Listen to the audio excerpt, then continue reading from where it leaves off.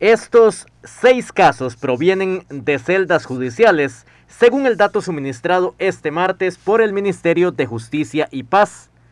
Con estos seis nuevos positivos, el número de casos por COVID-19 en el Centro de Atención Integral Antonio Bastida de Paz en Pérez Celedón llegó a los 23 activos, mientras que en la unidad de atención integral Pablo Presberi se reportan dos positivos. Hemos identificado eh, no solamente en Pérez Celedón, sino a nivel nacional, eh, que muchas de las personas que nos ingresan provenientes de celdas del organismo de investigación judicial vienen contagiados.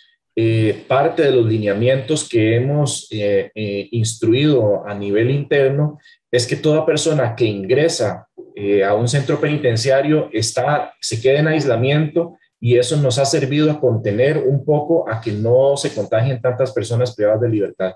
La mayoría de casos que se reportan a diario como positivos provienen de celdas judiciales.